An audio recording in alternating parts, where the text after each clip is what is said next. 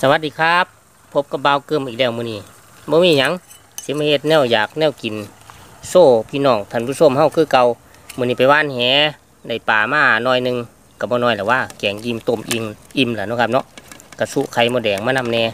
อันนี้เป็นปลาขาวปลากระเดิดปลาเชื่อมแน่ปลาขะแยงแน่ปลาเข็งแน่เนาะครับเนาะใส่ลงไปโลดไข่มดแดงอยู่ใส่นาะบัดนี้ไข่มดแดงไข่มดแดงเดี๋ยวใส่ที่หลังครับ นี่เห็นบ่เดี๋ยวปรุงเครื่องก่อนนำปลาใส่ลงไปโรดปลาใส่ลงไป เบิดขวดพอดีนำปลาก็ได้โอ้โทษโทษโทษแต่ว่าทัพพี่ไงปลานี่บ่ค่อยนัวปานใดใส่ลงไปโรดสองทัพพี่นะครับเนาะนี่จวดจวดๆยังอีกวันนี่ปรุงเครื่องเลยเนาะแป้งนัว บ่มักบ่กินบ่ต้องใส่นะครับ เด้อเบากึมกับสีจวดจวดๆเติมหาลุงขึ้นในทางตัวเองผู้ใดได้หนูที่มันขับขับตัวบ่หมานที่สันแต่มันบอกคอยไปใส่มือว่านบ่ถึกมันมันหมดใหญ่เอามันแป้งนัวใส่ลงไปครับเรียบสวยจะว่าเรียบแล้วขนาดนี่ล่อเดือดจะเข้าวครับผมอยู่มองหน้านี่ทุกคนว่าเอานังเงินมาใส่เงินมาเอ้ยยำมาผมบ่เชื่อเลย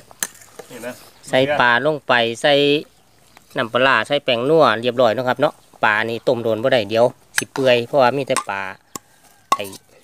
ปลาขาวปลาเสื่อมปลาขะแยงเนาะครับเนาะใส่ไข่มดแดงลงไปครับนี่แง่สดๆจากปลาธรรมชาติครับผมเด็กจะปลาสลับมันเข้าไงอีกวันนี้ซิมรสชาติก่อนเด้อซิมรสชาติก่อนขาดหยังที่จะเติมเนาะครับเนาะเจ็บก็นี่ที่ ปลาหมึกจำแก้วกินบสดยำกรุบกับพวดโอ้กระทาปลาหมึกเนี่ยนะขาดเข้มอยู่หน่อยหนึงเดี๋ยวใส่น้ำปลาอืมกันน้ำปลาโอ้ผู้ช่วยกุ๊กอยุ่ข้างๆนี่เขาท่าเว้ยอืมปลามีหลายขวดอยู่เด้อเนี่ยคือมือเปล่าขั้นตอนสุดท้ายครับผมดูบ้านเห็นบอกใส่ผักมีสี่ใบลงไปนุ่มขึ้น ผักอีตูมาทำเองหน่อยใบมะกรูดเพื่อนผู้หญิงนะหอมครับมันน่ะต้นหอม หอมเปรย์หากพักซี่แน่ลูกโดดก็มีเนาะครับเนาะ นี่ โอ้ นี่ละของกินเสียดิอาหารอีสานบ้านนอกบ้านหน้าเฮาเนาะครับเนาะ หาอย่างหากินมันนี่แกงว่ะง่ายได้คนละสองบาทเองวะๆคนหลายบ่ได้เด้วยสิเลิบ้านเฮาจะมาให้ถือเจ๊ตักให้เบิ่งครับผมมันตัวยังบ่นี่ได้คนละสองบาทเองนี่ เป็นไงครับ เป็นไงครับห้าร้อยเป็นดีเป็นตากินบ่ที่จามือนึงอะนี่จาว่าแม่นำธรรมเป็นดาไงได้จะว่ามาเด้อครับเด้อกินข้าวแดงน้ำเบาคืมง่ายๆสันๆเด้อครับเด้อคลิปนี้บ่มีหยังดอกเฮ็ดกับข้าวกับน้ำให้พี่น้องท่านผู้ชมเฮาเบิ่งให้ FC เบิ่งซั่นละเพราะว่าบ่ค่อยได้ไปทางไหนบ่ทันได้เข้าป่าปานใดเนาะครับเนาะก็เลยเฮ็ดกับข้าวกับน้ำน้ำคลิปอยู่กับบ้านกับซองอยู่บ้านชอบกนี่ล่ะเจอกันคลิปหน้าเด้อครับ เด้อบ๊ายบาย